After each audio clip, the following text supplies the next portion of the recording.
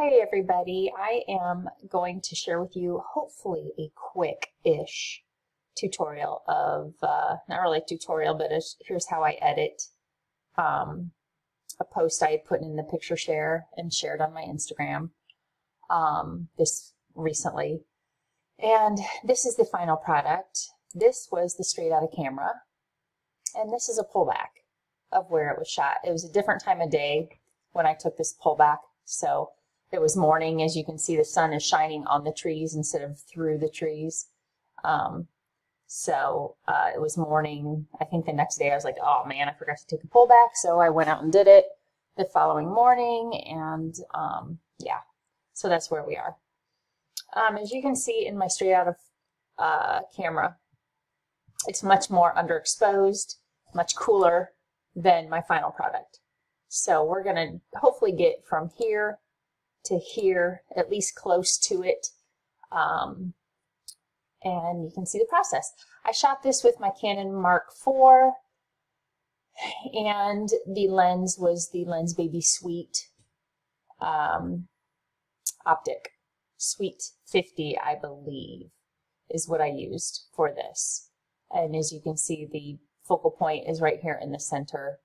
Um, and everything else with the Sweet, it, it kind of flares outwardly from the center focus. Um, I think I probably was using my Spark, which allows you to kind of bend where your focal point is as well, and uh, not necessarily center center point focus. So anyway, it's really fun. I love those optics, um, and that Spark is really a fun thing to use. Uh, so anyhow, let's get started. So here we are. Um, the first thing I'm going to do is go to the develop module and go down and click on the chromatic aberration and the profile uh, corrections and it just it kind of brought it in um, as you can see, it kind of does. It doesn't do a whole lot. Um, let's see, I actually hit the wrong thing. So on the Lens Baby, it doesn't, my, my Lightroom does not have the uh, Sweet Optics in there. It just uses a Velvet profile, so it doesn't do a whole lot for me. So anyway, um, the first thing I'm going to do is I, I kind of wrote down what I did on the previous one.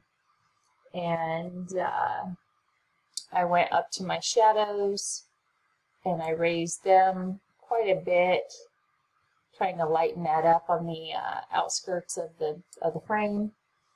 And then I raised the temp quite a bit. I don't think I used the dropper.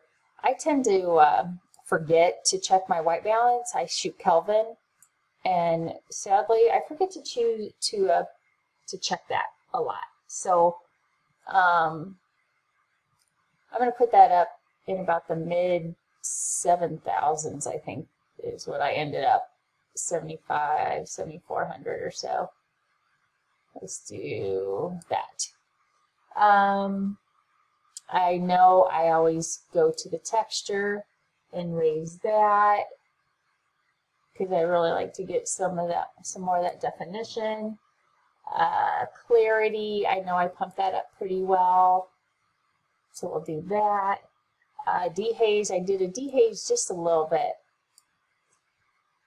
Um, vibrance, I know I put up to get the color boosted just a little bit. Um, and here is where next I took the radial filter and I kind of put up here in the center-ish. And I like to make it kind of big and kind of wide and really enhance. I need to clear that out by double clicking on the effect and I enhance, I warm it up a little bit and I also am going to expose. That's going to give me basically my sunshine of what's, you know, I like to boost that sun and create a little bit more of a sunshine. And as you can see, that really amps that up. Here's the finished product again. And here's where we're at so far. And as you can see, I crop it quite a bit coming up. I haven't messed with that yet.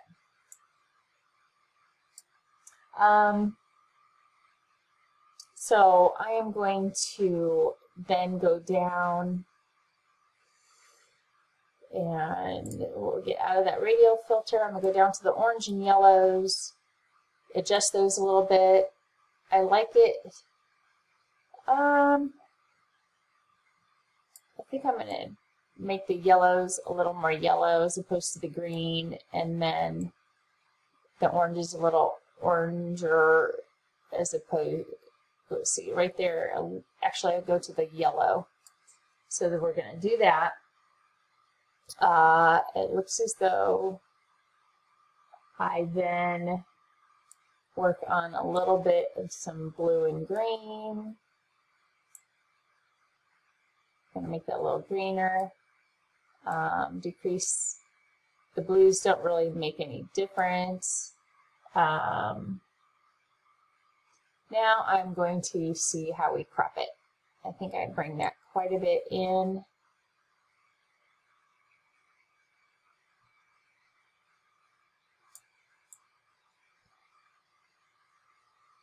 I think that might be close. Let's try that. Let's see what our first one was, our finished product. And here's this one. Looks like I need to move it just a little more inward, center it a little bit. So we have that and that. Yeah, we're getting closer. I think I actually got it a little too far in.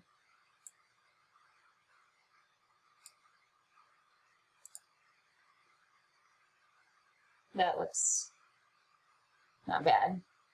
Going by that little flower down there. Okay, now I apparently increased my saturation a little bit.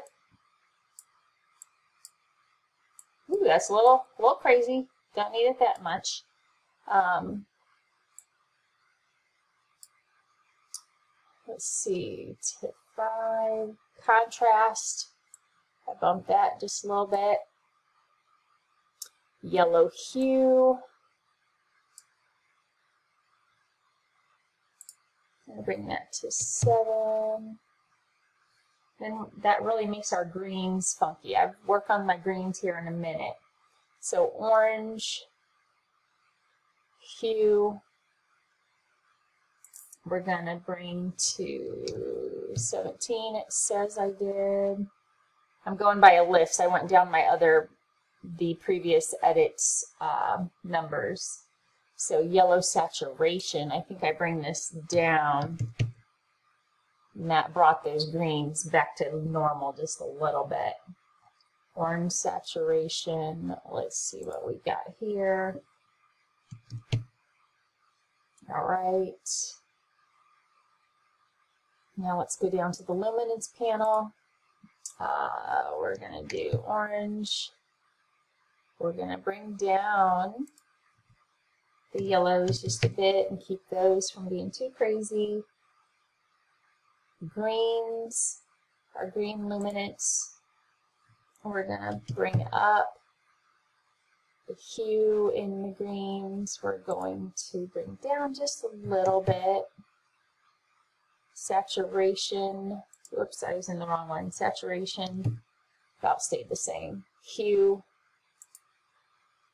34, okay. Ooh, those greens are kind of wonky, but we're going to keep working. My radial filter, I think I want to actually maybe expand that just a little bit and bring it down.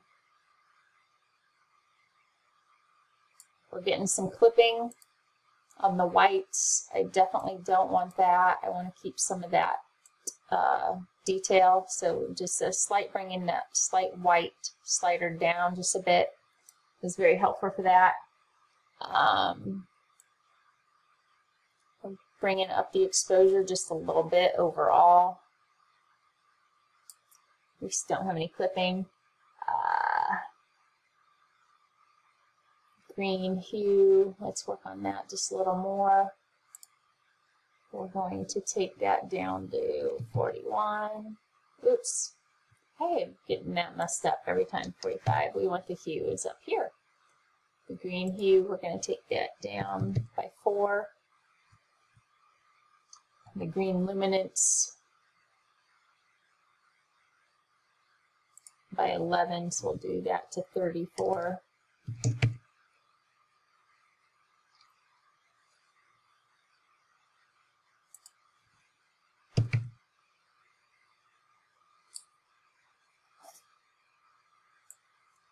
Brought the blues just a hair. Um, the green luminance.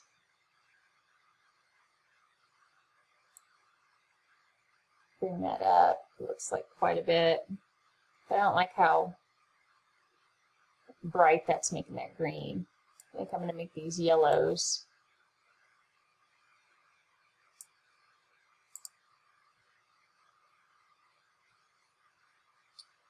Just a hair off. Okay.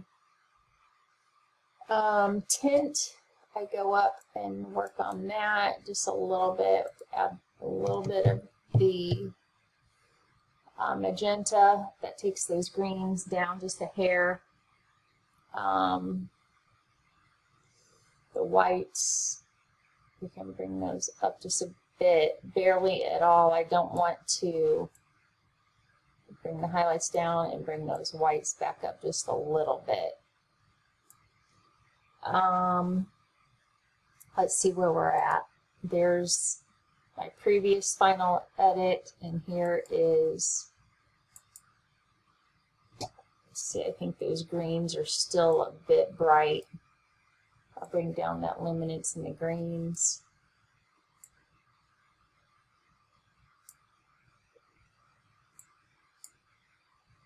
I think we're pretty close. It's a little brighter than the previous edit, but I think we're real close. I'm going to bring down the highlights just a bit more. There, that helped quite a bit.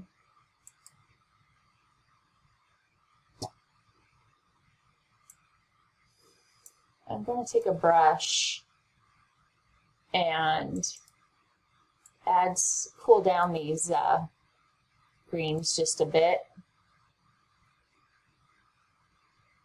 In through here, I don't like how kind of bright green they are.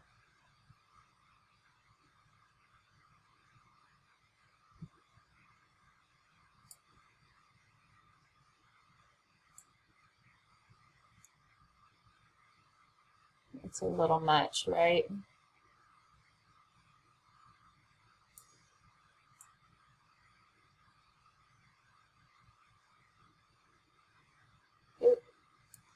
Okay. Don't get wonky on me, computer, now. Um, let's see.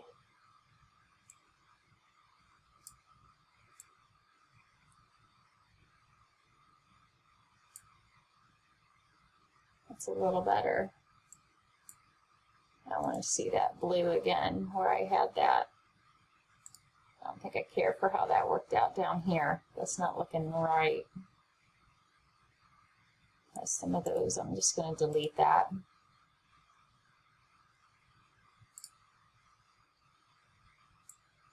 So I think we're super close to the final product I had before.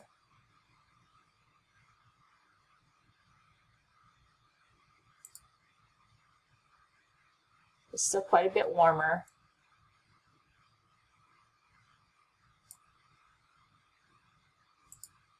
There's my other final. I think we're close. So anyway, what my main goal was was to enhance this beautiful bokeh in the background um, that the uh, Sweet was Sweet 50 was able to capture and kind of um, elongate those bokeh uh, lights coming through the trees, filtering through the leaves in the trees. That's where the sun was setting. Um, So basically I just enhanced that. I brought up some exposure. I worked on these greens a little bit.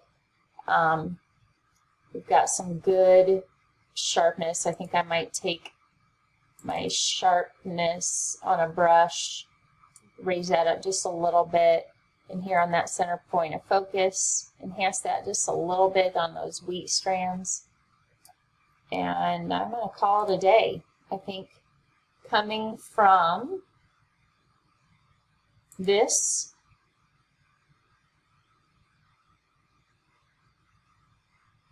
to this